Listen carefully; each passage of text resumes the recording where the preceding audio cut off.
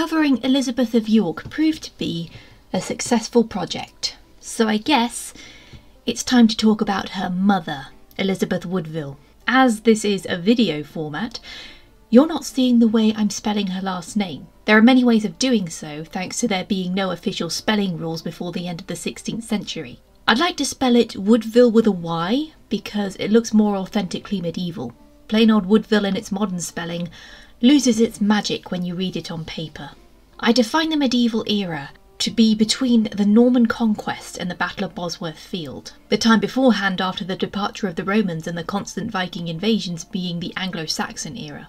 In those 400 years, England saw a handful of influential queens who stepped out of their bubbles and used restrictions to their advantage. Elizabeth Woodville was the last Queen of England to do so before the Tudor era. Sorry, Anne Neville. Not only was she not born for the task of being Queen, but she served as consort to a man who had been an enemy she was one of the most contentious figures in the Wars of the Roses, which was impressive in and of itself, seeing as both Marguerite of Anjou and Richard III both played major parts in it.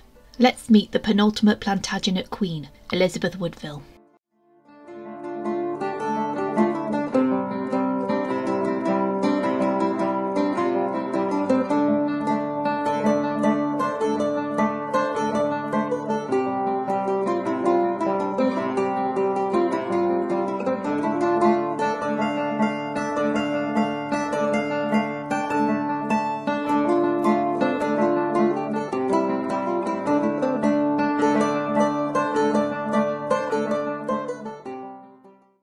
May be repeating a lot of what I've said in the Elizabeth York and Richard III videos here, and once again we have countless figures who share the same three names, including the women. Elizabeth Woodville was believed to have been born in Northamptonshire in 1437, this being a time before common people's births and deaths were recorded. Her exact date of birth is unknown.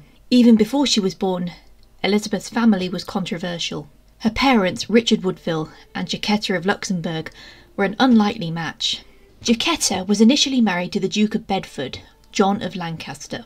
The Duke was in his 40s and Jacquetta was 17. After two years of marriage, Jacquetta was widowed and childless. She had lightly fallen in love with Richard Woodville when he escorted her from Luxembourg to England in 1433. They married in secret without receiving King Henry VI's permission, and they were fined a thousand pounds when they were found out. Elizabeth was the first of 14 children between Jacquetta and Richard, consisting of eight daughters and six sons. Their first son, Lewis would be the only one to not survive infancy. Elizabeth's upbringing would have been that of a typical English lady, anticipating a good match when the time came. As the eldest daughter, many hopes rested on her marriage to influence the chances of her sisters, and she would have been required to mother her younger siblings as well. While the Woodville family was not considered noble, they were wealthy, so they could easily buy some good matches. Aged 15, Elizabeth married Sir John Grey of Groby.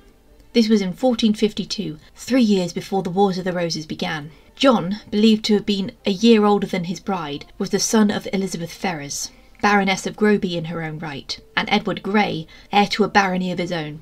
John would be the great great grandfather of Lady Jane Grey. Not much is known about what their marriage was like, although they managed to have two sons together, Thomas and Richard. He inherited his father's title in 1457.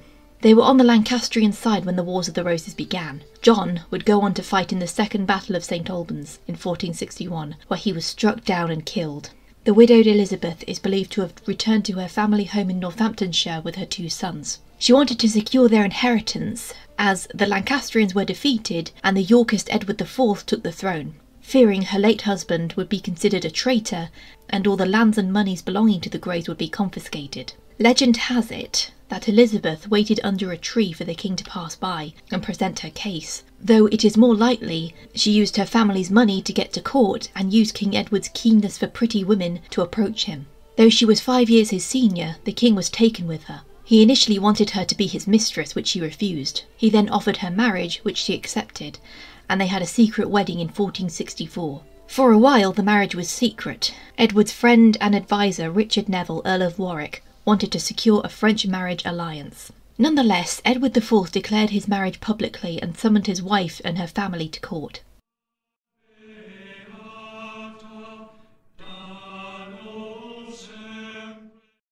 The scandal was heated, to put it lightly. Not only was Elizabeth from the Lancastrian faction, but she was a commoner. Kings just did not marry commoners. Their position was designed to marry a foreign princess in order to form alliances. What's more, Edward had already pulled this marriage trick on another woman, Eleanor Talbot, with whom he'd had an illegitimate son before she withdrew into a nunnery. It may have been that Elizabeth, already with two healthy sons, seemed Edward's best option to gain a son and heir of his own as soon as possible, rather than wait around for Warwick to make an alliance.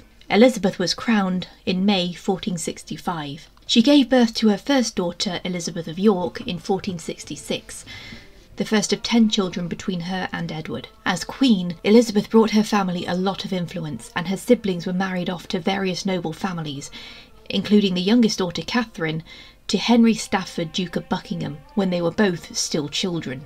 Elizabeth had had three daughters, Elizabeth, Mary, and Cecily, when Warwick and Edward's younger brother George, Duke of Clarence, rebelled against their king. Edward was briefly captured while Elizabeth and her children took refuge in the Tower. Richard Woodville and his second son John were executed at Kenilworth Castle. The dispute did not last long, as Parliament did not back George's claim to the crown, and Edward was released. In 1470, Elizabeth was pregnant with her fourth child, when Warwick and Clarence once again rebelled by going to France to side with her predecessor, Marguerite d'Anjou. They returned with an army. Edward fled with his youngest brother Richard of Gloucester, while Elizabeth and her children fled the Tower of London to Westminster Abbey to seek sanctuary. It was here that she gave birth to a son, another Edward, in November of that year. King Edward returned to England to reclaim his throne and defeated Warwick in the Battle of Barnet, with Clarence now returned to his brother's side. They marched west to confront Queen Marguerite, whom they defeated at the Battle of Tewkesbury. Edward, now undisputed king, held power until his death in 1483. During this time, Elizabeth and Edward had six more children, though Mary died in 1482 and George and Margaret died in infancy. This left seven surviving children, with the last, Bridget, being born in 1480.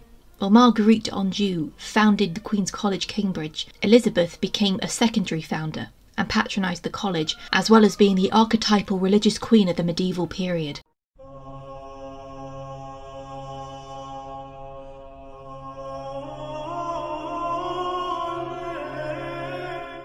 Edward IV's death came suddenly in April 1483 after a fishing trip.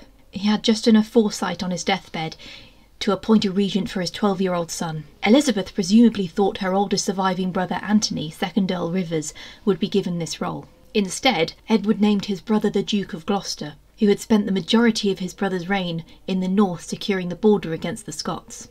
With Gloucester still on his way south, Elizabeth sought to secure her son first, and sent Anthony and her second son from her first marriage, Richard Grey, to collect the prince from Ludlow Castle on the Welsh border. Gloucester, with the help of the Duke of Buckingham, managed to apprehend Rivers and Grey, imprisoning them in Pontefract Castle, while escorting King Edward V to the Tower of London, from which he would never leave.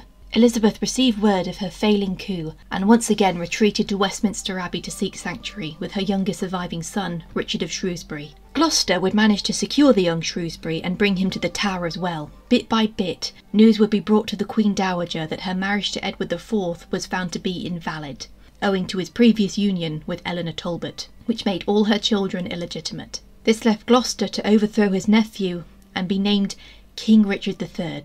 Not only that, but her brother and son had been beheaded at Pontefract. Elizabeth and her daughters were still in sanctuary while Richard III was crowned. Not long after, she received word that her two sons by Edward had gone missing in the Tower. In order to overthrow Richard III, Elizabeth joined with Buckingham and Margaret Beaufort mother to the last Lancastrian heir, Henry Tudor, with the intention of marrying her eldest daughter to Henry when he became king. Buckingham's rebellion failed, and Elizabeth's lands were stripped from her. King Richard managed to negotiate clemency with her in March 1484, where she and her daughters could leave sanctuary and come to court. Before the Battle of Bosworth Field, Elizabeth's daughters, along with the young Earl of Warwick and his sister Margaret, were moved to Sheriff Hutton Castle in Yorkshire. Richard III was defeated in August 1485, and Henry VII became king. The order declaring her children's illegitimacy was revoked and destroyed, and Elizabeth was once again recognised as a Queen Dowager.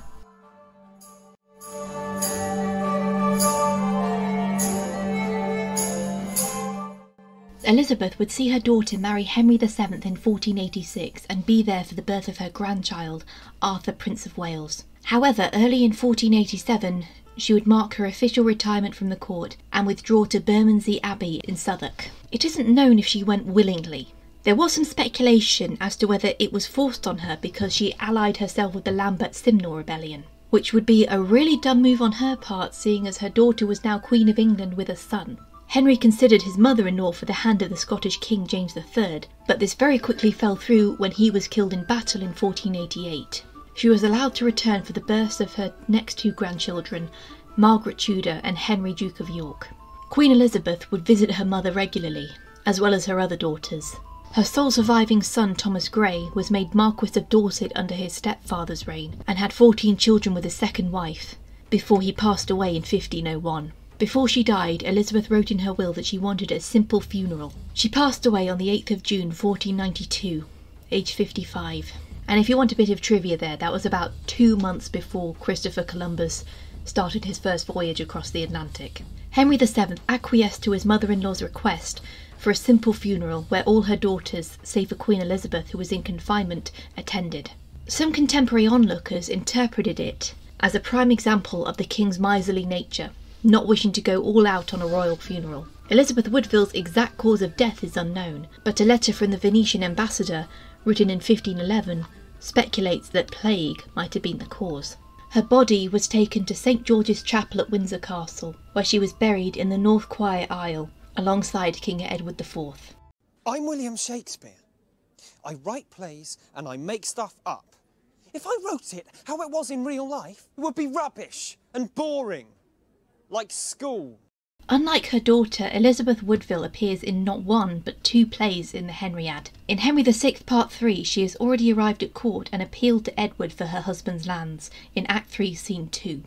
Edward debates with his brothers on if he should grant them to her.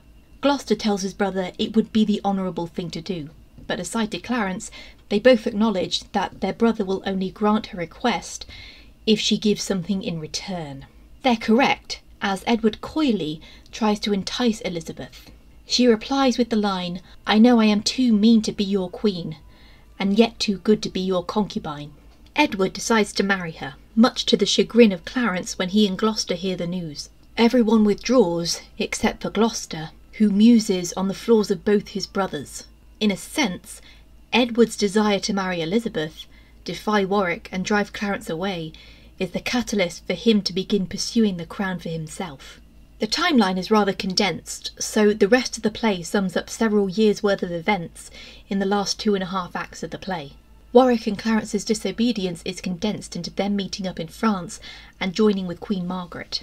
Elizabeth briefly appears after she has become queen, as well as hearing news of Edward's capture by Warwick. By the end of the play, she has already given birth to the future Edward V.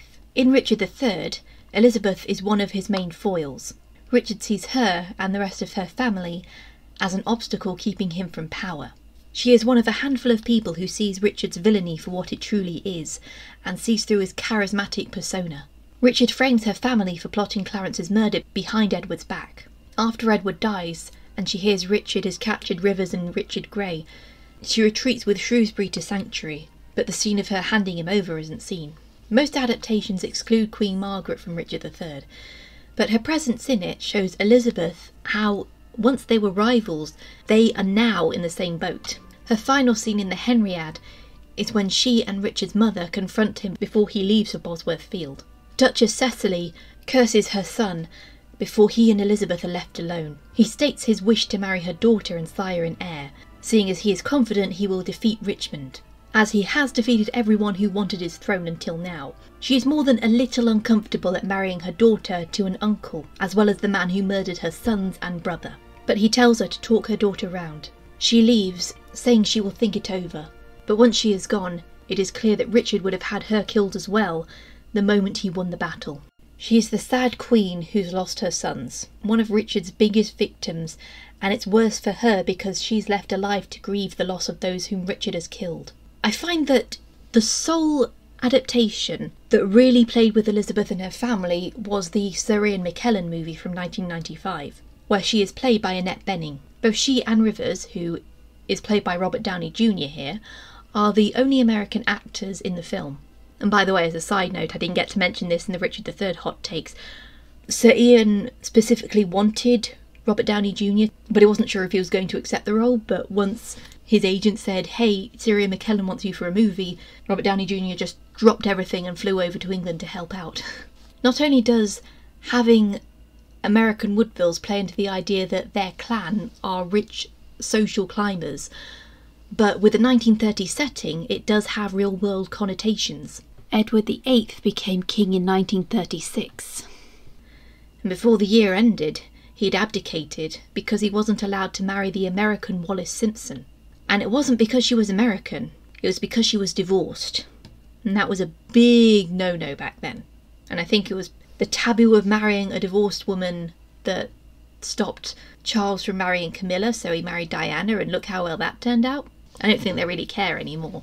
But in the case of Edward VIII, it was probably a good thing that he abdicated because he was weak willed and Wallis Simpson was a Nazi sympathiser. Nonetheless, it's an interesting interpretation and it shows that they used the new setting and time period to build up the world they created. Far too many times I see Shakespearean plays just put in a modern setting and they don't play with the aesthetic.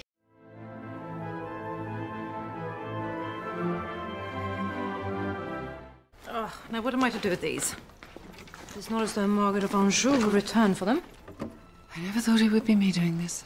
You are Queen of England now, and you will never make the same mistakes that she did. It is my hope that your closeness to your daughter will speed your return to health. Thank you for your kindness.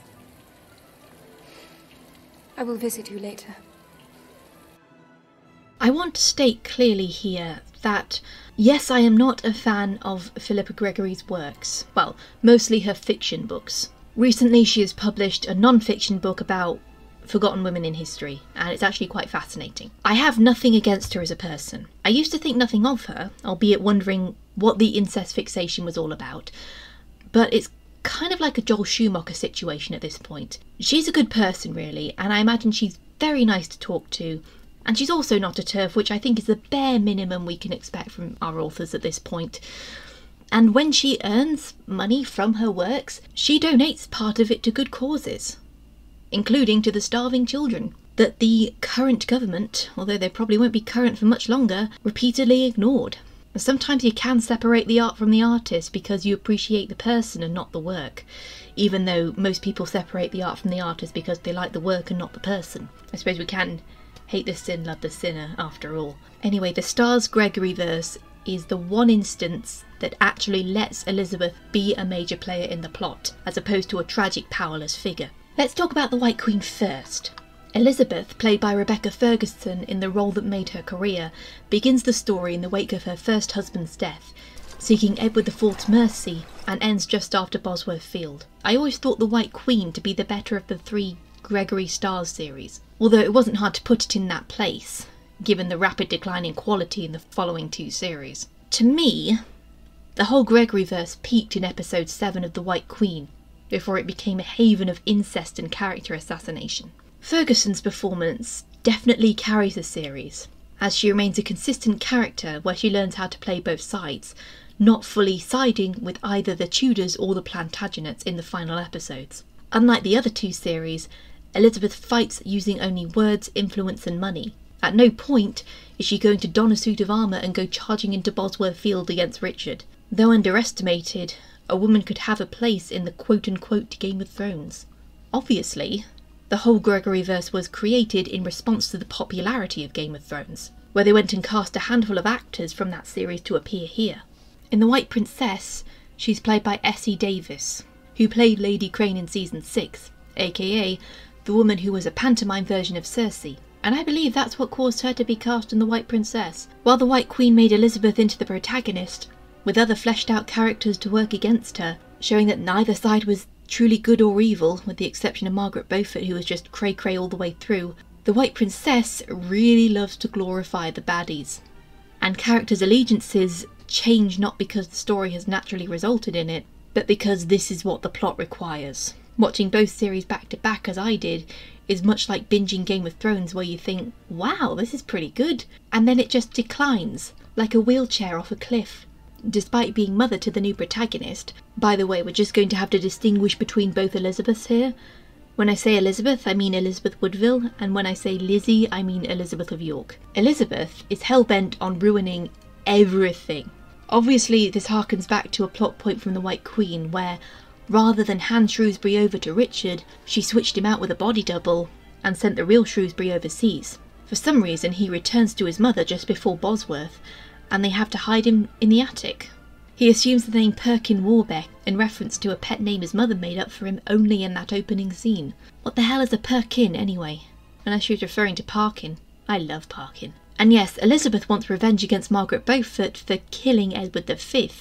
Long story. But her plan would involve using her daughter and throwing her under a hay cart, as well as all her children. So rather than have her daughter be queen and satisfied with that victory, she's planning on overthrowing the Tudors with Shrewsbury Warbeck. So I guess her daughter and her grandchildren can just go and do one.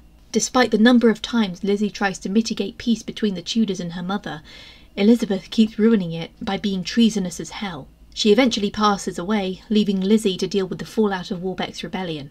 And that's not even getting into the whole witchcraft subplot. This is a long running narrative where Jacquetta, Elizabeth, and Lizzie use their supposed ancestry to Melusina in order to bend events to their will. In The White Queen, they don't cast any doubt on the magic being real, since every curse and prediction comes true, including Elizabeth's marriage to Edward IV, having a son, making a storm in the English Channel, sabotaging Buckingham's rebellion, and cursing both Warwick and Clarence to die violent deaths.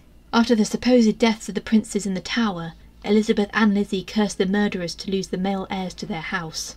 This sharing of magical abilities and visions through the water is only shared with the elder daughters, so I guess the other daughters just aren't special enough.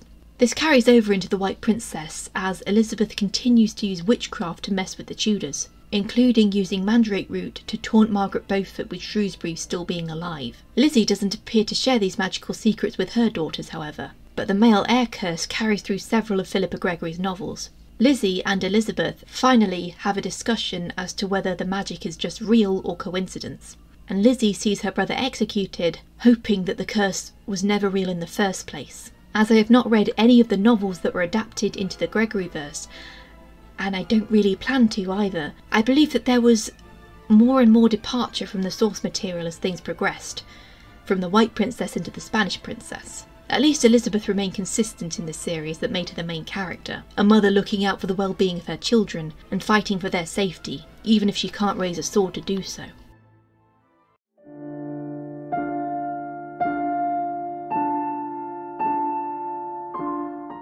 I've made many requests in the past. I'm here before you because I've yet to be granted an audience. Interesting. Your courage is a true marvel. What is your name?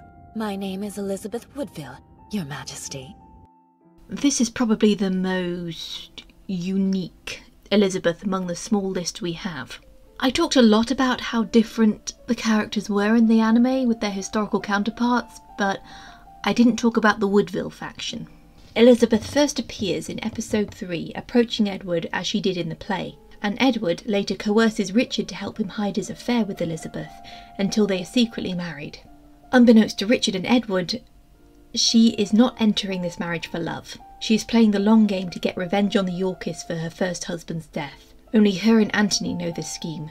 Her plan is to have a prince and rule through him. The intention was clearly to make Elizabeth an antagonistic character against Richard's more sympathetic one.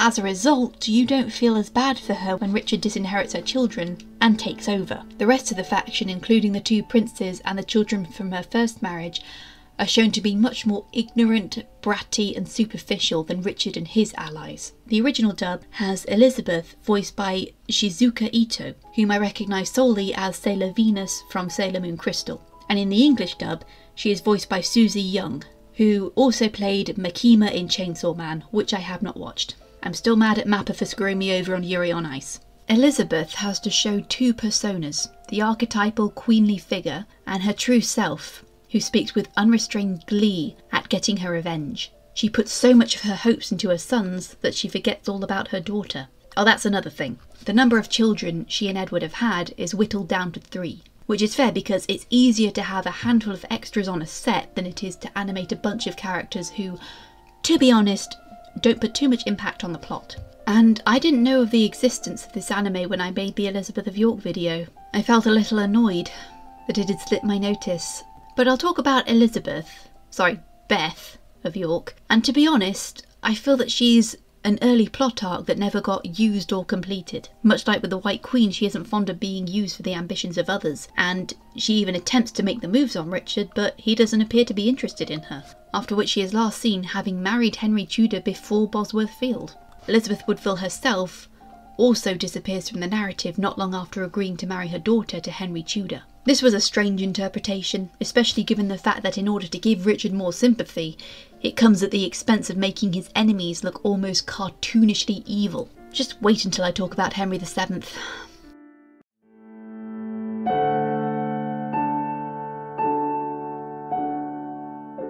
Boding of evil. Your Majesty is overwrought. Overwrought. Oh, no, I'm not. Once before, I was forced to seek safety within the walls of the church. My eldest son, the king, was born in sanctuary in this very building. You see, this is not my first experience. The Woodville crest? You accuse my name? You accuse your queen?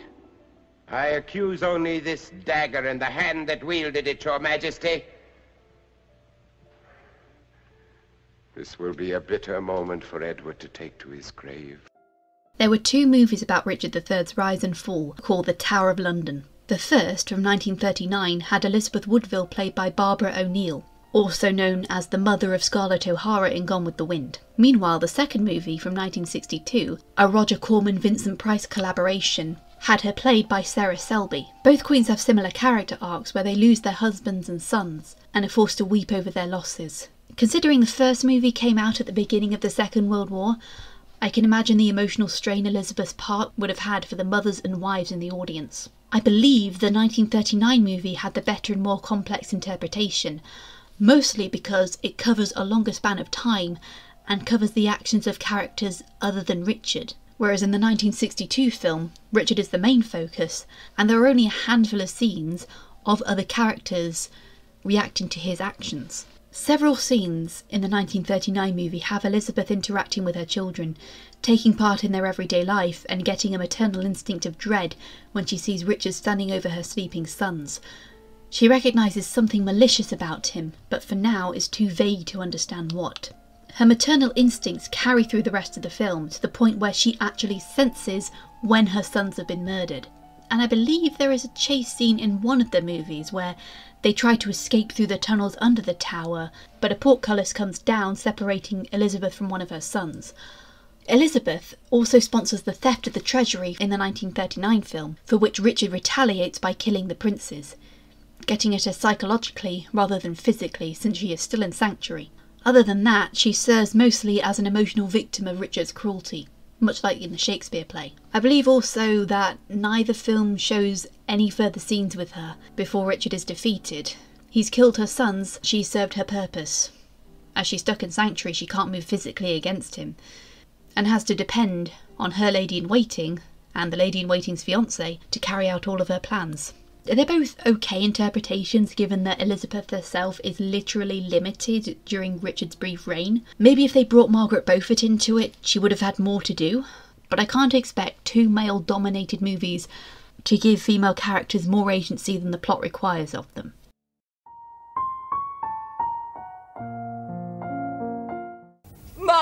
Royal sons, or have you all forgotten, were sent to that place for their own safety. My babies of blessed memory. They went to the tower and they never came out, not even dead. That's enough, woman. And finally, we have The Shadow of the Tower, the prequel to The Six Wives of Henry VIII and Elizabeth R. It is the lesser known of the three series. Copies are very hard to find, and whatever uploads you can get on YouTube are incomplete. Here, Elizabeth is played by Stephanie Bidmead. She appears in only one of 12 episodes. Henry VII is in a meeting with the Privy Council when she storms in with her only remaining son Dorset trailing behind her. She is incensed at the idea of being sent away from court, and, clearly traumatised from losing her sons, is mostly insulted that she will be able to see the tower from Bermondsey Abbey. And Cross referencing it, yes, you probably absolutely would at that point in history. Granted, the real Bermondsey Abbey isn't there anymore, thank you, Henry VIII, but I imagine is Bermondsey Abbey where Abbey Road Bridge is? Because if so, then the tower is literally just on the other side of the Tower Bridge, and she would have at least been able to see the top of the White Tower, if not the high walls that separated her from her sons. She fears that Henry is trying to do away with her and or taunt her. Dorset weakly backs up his mother and Henry tells her to take pleasure in at least one of her sons being alive. And she leaves him with an ominous warning. Crowns are dear in England, son-in-law. But heads are cheap that wear them. And that's the last we see of her. Henry banishes his mother-in-law much sooner than historically recorded, and I don't see why we couldn't have had more scenes with her, given that there are plenty of episodes with Elizabeth of York where she could have appeared. I mean, you had 12 episodes, so you could have done something.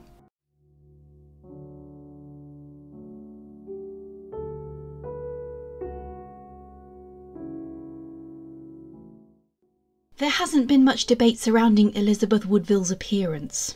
She was considered beautiful at the time, and it was likely a mix of her beauty and wit that caught Edward IV's eye and convinced him to make her his queen. The portrait best associated with her shows her in typical late medieval dress where her hair is only partially visible. She appears to have either had red or blonde hair. If her hair was red, this explains how Elizabeth of York got her red hair, which was then passed down to Henry VIII and Elizabeth I. However, if not, there was probably another red-haired descendant of Elizabeth or Edward IV who passed the gene down. As red hair is a recessive gene, it can be carried in one's DNA, while not showing itself on the surface. The portrait was made posthumously, however, in the 16th century, but may have been copied from an original. Like with Elizabeth of York, her on-screen depictions typically show her as blonde, it isn't too difficult to wonder why, as she is the White Queen, and that implies her appearance would have been as pale as possible to contrast the Lancastrians, even though she started out as a Lancastrian. But with the addition of her beauty being one of the best known things about her, being blonde is habitually used to emphasise feminine beauty, especially at this point in time. Her portrait was copied several times, and you can find separate versions of them all over the place. Other artworks depicting Elizabeth Woodville are only done in the typical medieval style where there is little realism. As a result, Elizabeth Woodville's true face will always be a mystery. However, I don't think she would have been as thin as her portrait suggests, given that she did have 12 children.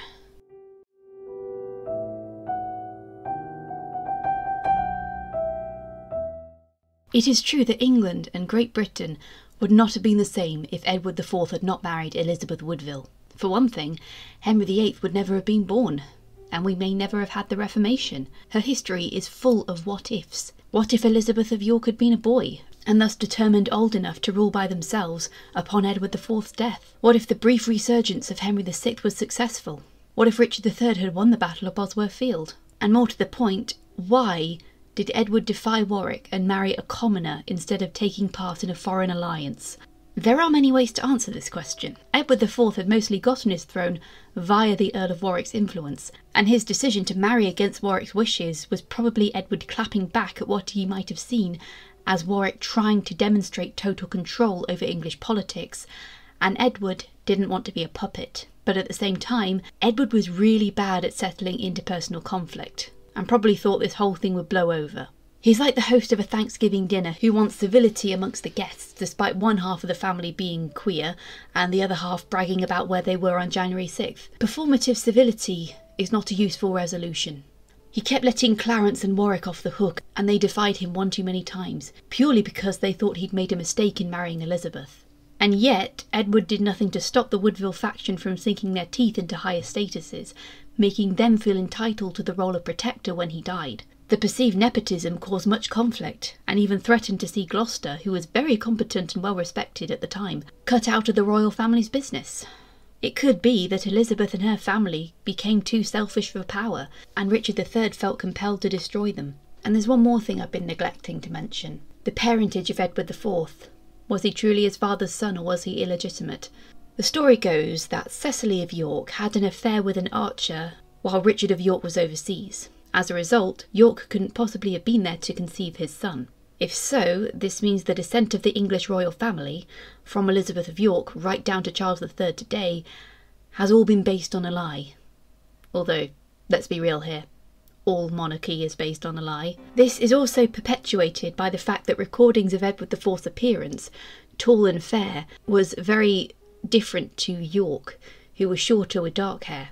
However, Clarence also shared his older brother's features, while Richard ended up looking more like his father. Once again, we have to factor genetics into this. Which ones a child inherits from their parents is completely random, though statistically the dominant genes of a darker hair and darker eyes usually wins. And as for Duchess Cecily's pregnancy, what you must understand is that no one experiences pregnancy the same way. I can attest to this because I was three weeks late, while my sister was born alarmingly early. So, given this time period where Cecily was supposed to have conceived Edward might have actually been completely wrong, and either she conceived Edward just before Richard of York left, or conceived him just after he arrived, and Edward himself may have been late or premature.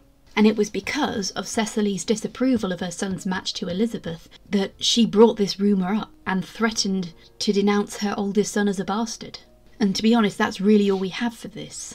Marguerite d'Anjou held on to this rumour and tried to perpetuate it. But the thing is, Cecily disapproved so much because she was from the House of Neville, like Warwick, and she shared his disdain for the upstart Woodvilles and would have wished to say anything to intimidate her new daughter in law. This rumour was held in reserve for Clarence and Warwick's first act of defiance, in order to put Clarence on the throne.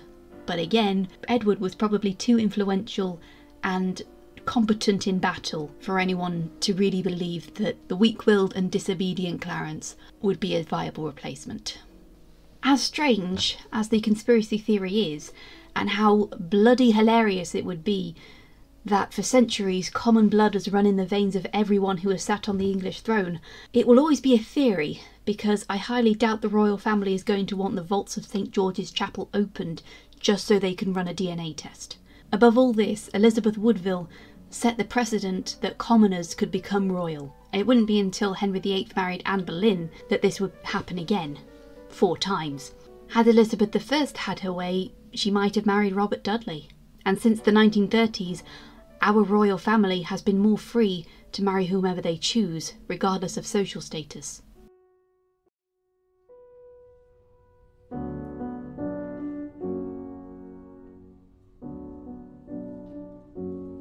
Another Screen Queen done. This wasn't exactly a ranking situation because I couldn't decide who was better and who was worse. It should have gone to Shadow of the Tower if they'd given her more to do. Elizabeth Woodville remains one of English history's underrated queens. I'd say she survived more hardships than most of the queens we've seen, with the exception of Henry VIII's wives. She was a keen demonstrator of the philosophy they knock you down seven times, get up eight. I'm sorry I didn't make any Dune references in regards to Rebecca Ferguson. I just wasn't able to think of any. Although both Elizabeth Woodville and Lady Jessica are very similar in that they see their families destroyed and works to use their influence to build it back up again.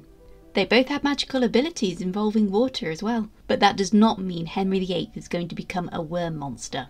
I don't know how much more I can get out of this time period without repeating myself since most of the events and people keep overlapping.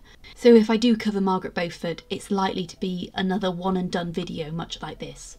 And that was Elizabeth Woodville. Yeah, honestly, I don't know how much else I can get out of this time period, although I have summarised the events of the Wars of the Roses from the perspective of the York side three times now, so maybe if I did Margaret Beaufort, it would change things up a little. I think I'll leave the Wars of the Roses subjects to my patrons because oddly enough, when I've asked my patrons to choose something, the majority choice has always been Wars of the Roses subjects. Very interesting that. Although it can't possibly be Wars of the Roses with the next choice. Let's have a look at that poll because I haven't actually looked at it for a while. So the choices were for four different famous pieces of literature by four famous authors. So it was Hamlet by William Shakespeare, Wuthering Heights by Emily Bronte, Pride and Prejudice by Jane Austen, or Oliver Twist by Charles Dickens. And Pride and Prejudice was the one that won that poll. So when I next get the chance, I will be covering 10 different Pride and Prejudices. And oh my god, yes, I was just remembering that Donald Sutherland will be featured in that. R.I.P. Donald Sutherland. He touched our lives in a great way. First time I saw him in anything was that Kate Bush music video, Cloudbusting. That is going to mean so many different things now. I'm a bit sentimental because I've been having Prosecco. And as I'm doing this outro, we have two new dramas to talk about because Firebrand has probably been released everywhere by now. And also there's that Lady Jane series. I really don't want to watch that one. The, trailer was terrible.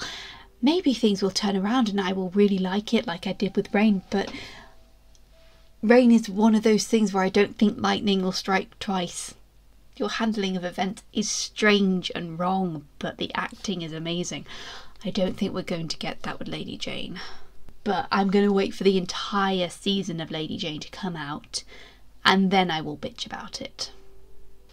And then either I will do a vlog series, or I will just do a bunch of reactions like I did with Blood, Sex and Royalty. But it's really not looking good, I really don't want to watch it. I get to delay it for at least 8 weeks. Anyway, thank you for watching this video. Before we go, I have to thank my patrons who support my channel. These are amazing people. The best thing about patrons is they do support this channel financially and help me keep my head above water because you can never predict what the ad revenue on YouTube is like for every month because one month it might be okay and there'll be like £200 coming in. Other times it'll be like, no, you're only getting barely 60 quid.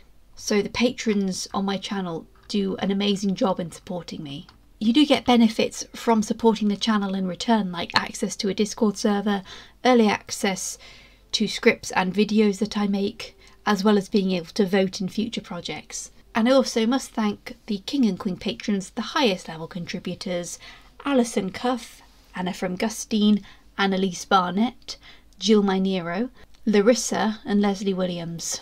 In regards to paid members on Patreon, I do have a set goal where if I reach 50, I will cover Elizabeth II.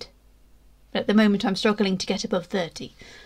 So even if some of you just join at the Lord and Lady, where you just get access to the Discord and your name in the credits of practically every video I do, then that can help us towards that goal. And you might then see the Elizabeth II coverage. That will probably be a one and done project like this, but still, it's an interesting thing to think of. That includes both adaptations of the BFG but I will also have to watch The Crown, so pray for my soul. But yeah, those are two videos you can look forward to the Catherine de' Medici rankings and the Pride and Prejudice hot takes. Don't forget to like and subscribe and share this video around because engagement with this video is so very very important when fighting the algorithm.